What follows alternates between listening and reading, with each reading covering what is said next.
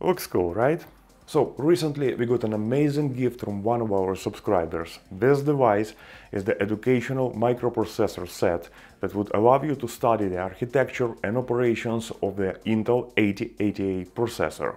And it was produced in 1988 in Riga in Latvia by the VEF Radioelectronics factory.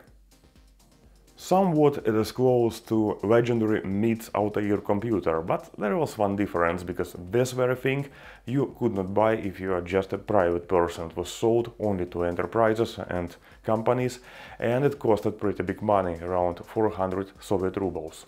And this set has one cool feature, there is a special slot where you could install various expansion cards and those would give you a really big field for experiments on say developing and prototyping of various devices or controlling some external devices and so on. So it was pretty interesting. So a joke about Soviet Arduino was actually only partly a joke.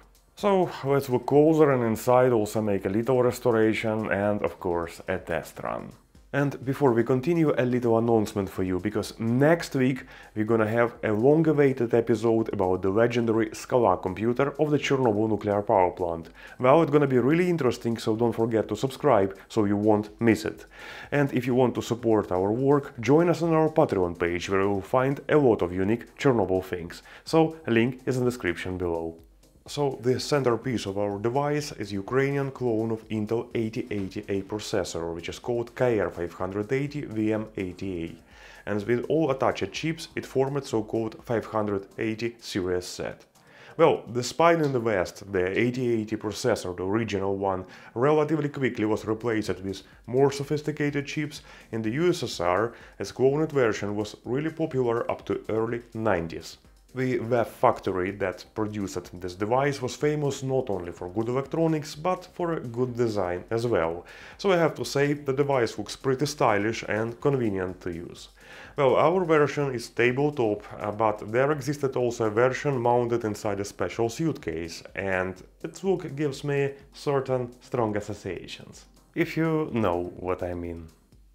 Unfortunately, we do not have at the moment any of those cards, but even without them it's possible to do pretty much using these built-in controls.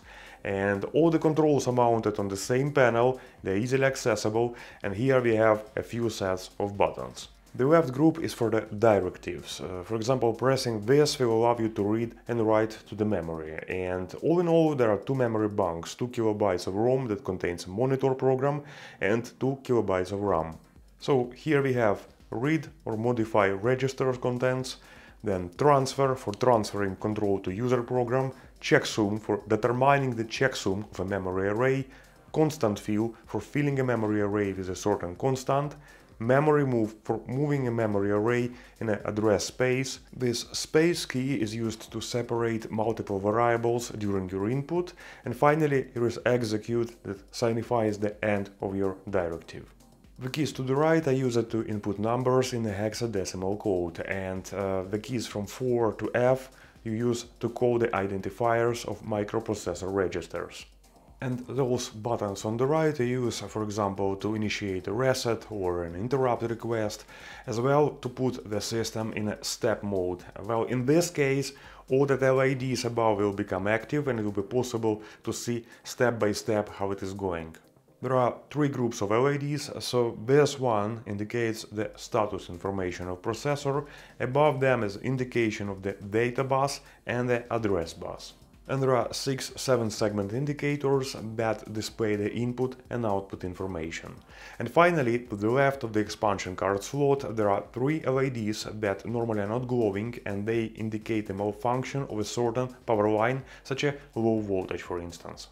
Alright, uh, so bezel is pretty dirty because it was stored for a long time on the shelf untouched. Uh, there is a solid dust, some scratches and this silver-like finish is missing on the edges.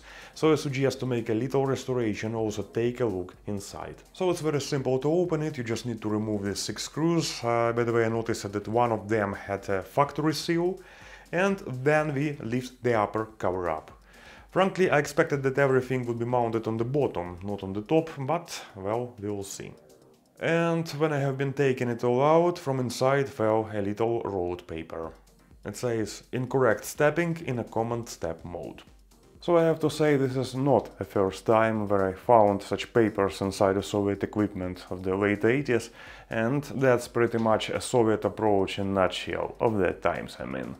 So the thing is that if you check the papers that were shipped together with the equipment, there would be likely written that it successfully passed all the end of production tests. And uh, only end user would discover that actually something doesn't work and they would send it to service center and only those guys who sit there they would open and see actually this little surprise. Uh, there are certain reasons why it was done like this and uh, share your ideas in the comments. I will tell you if you're right or not. Okay, we will see later in the action how does it work. For now, that's what it looks like. In the center there is a crate with a couple of cards and uh, there are two thick cables coming from the front panel. Well, I have to say I very much like how those connectors secured. And we have here a large power supply that brings plus 5, minus 5 and plus 12 volts to the crate.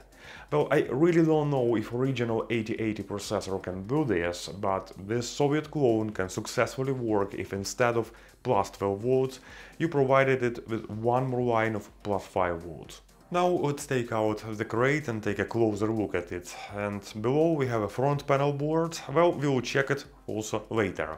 Well, just look at this. That's beautiful. Wires here not soldered, but tightly rolled over. Well, I nearly not use technique nowadays. Just look at this, it looks so aesthetical. Okay, now let's take out the processor card. Well, it appeared to be not very easy operation because connectors stuck in during the years very tightly, but here it goes. Wait a bit, you gonna be kidding me. No, really, no indication and no reset after it gets hot. I remind you, the casing was sealed. This is what the main card looks like. So here we have the CPU itself, also ROM, RAM chips and also buffer register that provides the bus functioning. Everything is really simple but pretty effective. The second card has a programmable peripheral interface chip. Uh, that chip is a clone of Intel 8255. And this card come the wires of the expansion slot for external cards and also cables from the front panel, because those are also considered external device. Well, that panel we are also going to remove as well, because I need to clean the buttons. Well, the front panel board is very simple, here are just LEDs, some buttons and those ALS 324 indicators. But the color and texture of the material the PCB was made from, I have to say it's pretty unusual, because uh, that was normally used by Czechoslovak and Hungarian factories, not by Soviet factories. But anyways, we have it here. And finally we remove this power supply. Well, it's really huge, but at the same time all parts are easily accessible. I checked it, it works perfectly, there are no problems with capacitors, so nothing to change here. The only one thing appeared that uh, there are a few mounts are broken, so I will glue them back later. The next step was some cleaning, extensive washing and drying of plastic parts and now it looks a little bit better, but I will additionally paint uh, the places where the silver-like finish is gone and after some thinking I decided to first assemble it back. Well, to be honest, that was pretty a challenge because most of screws are really hardly accessible, but anyways, I managed to do that.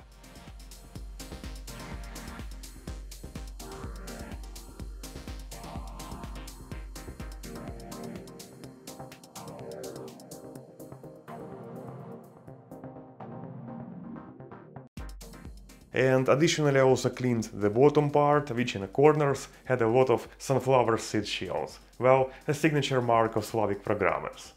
Once everything was assembled back, I cleaned it once more and then I grabbed some silver epoxy paint and started to cover the damaged surface.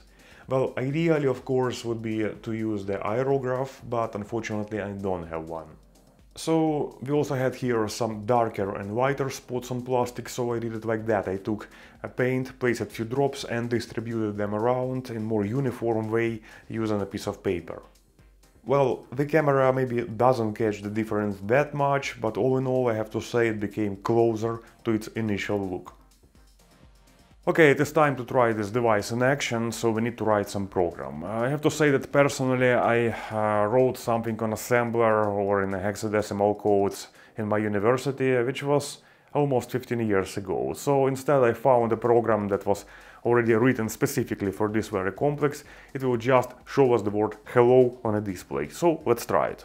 First we switch the system on and then reset it by pressing the reset button. And then I press this button to modify the memory contents and then using the numeric keypad enter the address.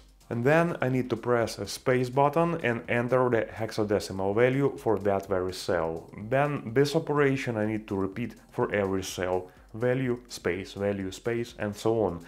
But after I enter the last one, I press the execute button.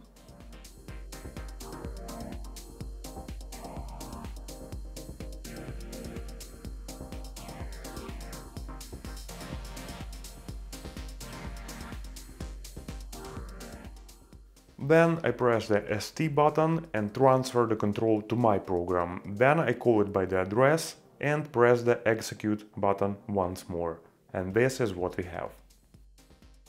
As you can see, the LEDs are not glowing in this mode because it would be pretty pointless. Uh, so to see them in action, we need to press this button to enable a step mode. Then we can reset the CPU once more. Uh, the memory will retain the program, so we can call it again by entering the address and pressing the execute. And now by pressing the step button, we can see our program working in action.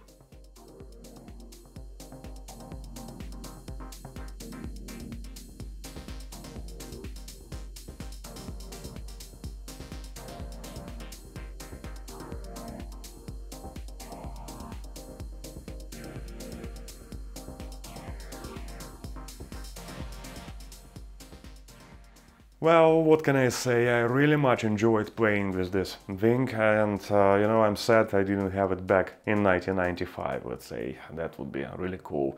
It's of course very obsolete for the modern times, but back then it was something really cool. But, you know, I think I will keep an eye on the local marketplaces. Maybe I will find some of that uh, expansion cards on sale and we can have a continuation. If you would like to have one, please write us in the comments.